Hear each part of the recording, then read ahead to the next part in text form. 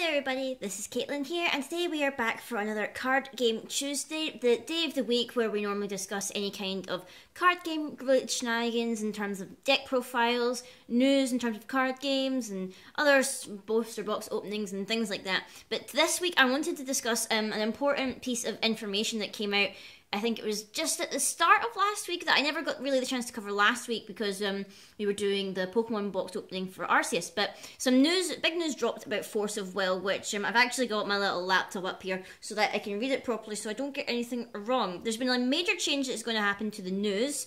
Uh, the news, the rules. There's news on the rules, is what I'm trying to say on the rules of the game. So like, there's going to be a funda- a couple of fundamental changes that will be happening.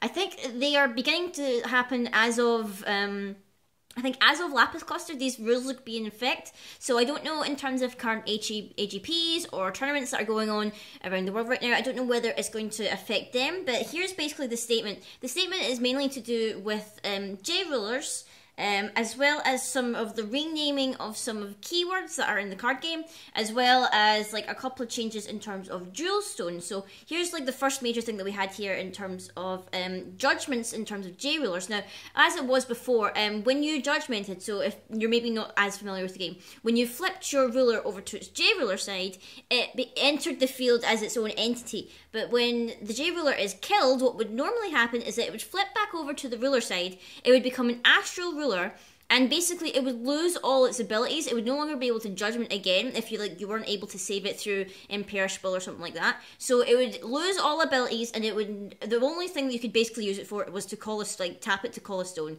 And um, that's basically all it would be used for. So basically um, this meant that it harmed a lot of things like such as um, uh, I think the main kicker was Reflect Refrain because obviously their thing is free anyway. So if you did manage to somehow kill Reflect Refrain, you wouldn't be able to get any of its abilities because it'd be an Astral Ruler.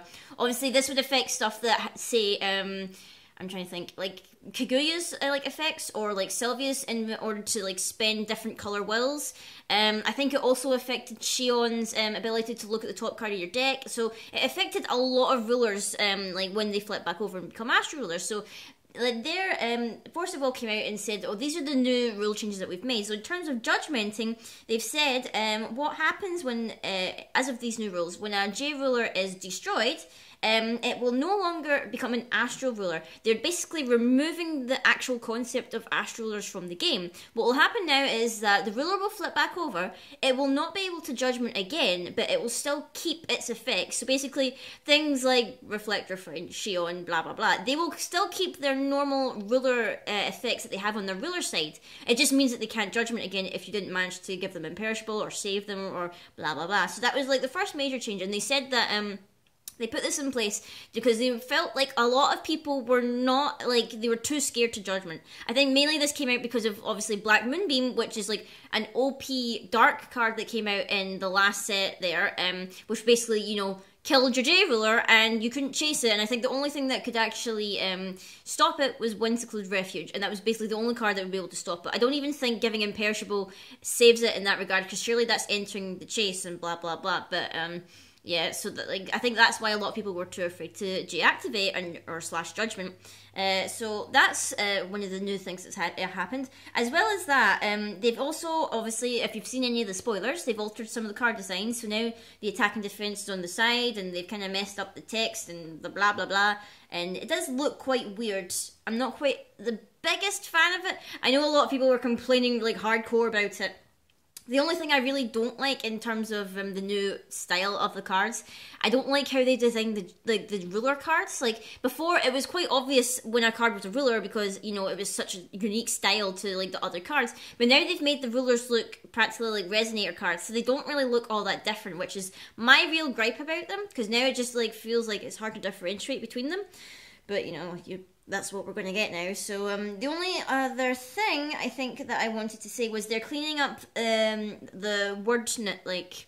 They call this needless wordiness to make the game more accessible. That's what they they're saying. Because I'm reading it from the website. If you couldn't tell. Um. So oh no, I'm entering tablet mode in my thing. No, that's bad. So one of the things that they've they've changed is target attack is now going to be called precision, which I don't know how that's meant to make it easier. Surely target attack explains the whole gist of it. Even though I do get confused with target attack sometimes as well. So what they've said is one of the most common questions new players have is does target attack target? And so they've changed the ability to precision to eliminate this issue.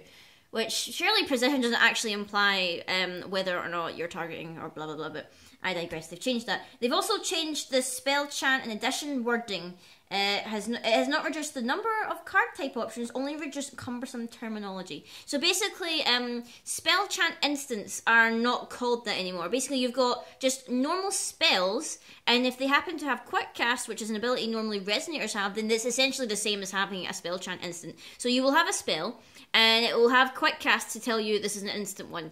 And I think I, from looking at the art of some of the spell chant instants that we've had, it seems as if the mana cost is like surrounded by lightning bolts, as if to say, "Oh, you can play this on your opponent's turn." By the way, so that's like a highlighter to show you um where like when you can use those cards, which you know is kind of cool.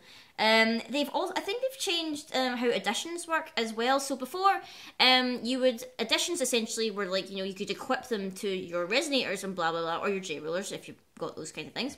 You would equip them, and then when your say the resonator with the equipped addition would die, that addition, unless it had some terminology said when it goes to the graveyard, put it back in your hand, that would also go to the graveyard. But um, I think they've also changed additions so that um they may appear more like as if they were regalia. So they would sit on your field, and then you could pay to.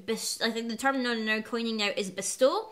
So now it's like, oh, you can bestow this thing onto a resonator this turn. I've not really kind of looked into how exactly that's going to work because the wording of it was a little confusing. So and people who play Magic seem to have a better understanding of it than I do. I've never played Magic, so I don't really know the mechanics of it. But it seems that this is a borrowed mechanic from uh, Ma- uh, Magic the Gathering. So maybe I can understand it a bit more if maybe someone explains it properly to me. But like reading the wording of it on some of the cards, I wasn't quite getting it myself. But once I've researched it a bit more, I think I'll be able to get it. But the only other thing that seems to have changed is. Um, they are officially now talking about Wanderer format as well. So they're saying that um, from September onwards, they'll be running different types of events, which is New Frontiers and the Wanderer League. And the Wanderer League will have different promos as uh, different from the New Frontiers. So basically, Wanderer is from Grimm up until Lapis, I'm guessing, or the current thing.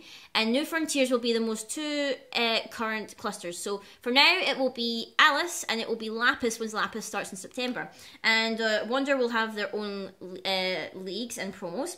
And they do advise that they will be giving out a new PR promo for Wanderer League every three months and that store managers are advised at least hold one Wanderer League every month, which you know is kind of cool because it mixes it up a bit. Because then you know people were complaining, oh, all these decks are going to get rotated out. You know they're going to be you know not as good anymore and blah blah blah. But you know I think that's encouraging because it means you're going to get different promos like for different kind of tournaments and stuff. So maybe it will help in, uh, inject a bit more life into the game. Also, I am super jelly because the promo for the first Wanderer League is a revamped Grimm, which is awesome, and he looks amazing. If I can just click on the art here so I can show you. Probably can't even see it because my computer's screen is that bright. Um, is it going to work? Mm, I'm saying this now and then it's probably not going to work because I've, I've, I've clicked on it and I've said it and now I won't be able to do it. Um, is this going to work now? Please, computer, are you going to load it?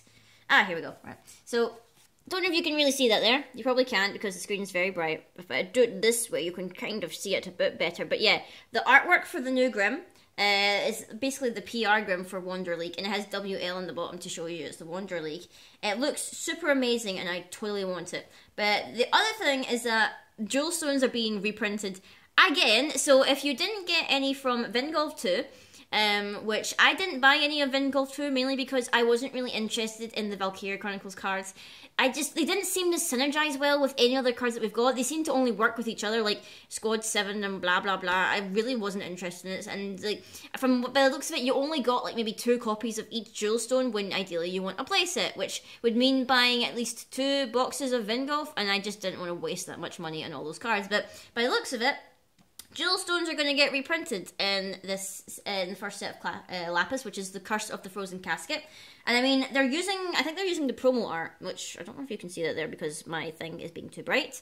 But we've got that, uh, which is the Black Silence one. Um, I've got Blasting Waves, which will probably be mine because that's the one I use for Sylvia. You can hardly see it there because it's so bright. But they're using like the kind of promo art that's, and they're going to be, by looks of it, they're going to be rares. So they're going to be rares in Curse of the Frozen Casket, which is very nice. I am really glad to get some new artwork for um, the Jewel Stones, just because you know I've been kind of sick and tired of the old art for now, and they seem to be more heavily connected to the Grimm cluster than it was to the new cluster. So it's kind of nice and refreshing to see new artwork, but in terms of that, the only other thing I think that is worth noting, I'm just having another double check on the uh, page for um, Force of Will on Facebook. I think the only other thing that was really of note was that I think it was confirmed that Lapis Cluster would drop September 8th. I'm not too sure. I'm trying to look at it here now where I think I saw it. But um, either I can't find it now or um, it's. No. I don't think I'm going to be able to find it again just to confirm what it was. But I'm um, having a quick look again, and I can't seem to find it. Maybe I just hallucinated that in my mind. I swear I saw that um, there was a post saying that Curse of the Frozen Casket would be coming out September uh, September 9th or 8th or something like that. I feel like it was um, at the start of the year anyway. I'm still looking here and no, I can't see it. I cannot see it, but you know, at least I had a look anyway. But um, that's really all the kind of news I wanted to discuss for Force of Will. I am going to try and like think up some more deck profiles for you. I also wanted to do um, a couple of different things in terms of card games, maybe looking at like spotlighting some of the rulers that we have already in terms of like what you can do in terms of viable decks with it and even exploring their characters and stuff and the story and the lore and you know examining the lore itself because you know I love Force of Will's story. It's one of the things that drew me into it in the first place because you know there's an actual plot behind this card game as opposed to um, the plot being there to sell the cards like a, like an anime or a cartoon or blah blah blah. But I'm really excited and I'm really um, hoping that um, we can get more people involved in this card game because I think it's really really fun and like hopefully you guys enjoy it too. Like most of my videos that have most views are force of will related like um i was looking back at some of the older videos and like my like i think my original sylvia deck profile is like over 1000 views which is kind of insane considering um I think I made that, was it last year? It might have been last year I made the deck profile. I can't even remember, but it's totally insane. And considering that in the last kind of like six months, we've gone from 50 subscribers up to over nearly 200 now. And I think we are over 200 at this point, which is totally amazing. So thank you for the support, guys. You know, whether you're here for the Force of Will, whether you're here for my kind of geeky vlogs and stuff, or whether you're here for my reviews and stuff, I'm just great to have all of you on board and supporting this channel. And, you know, I really enjoy making content for you guys. So, until next time, guys, I will see you all later.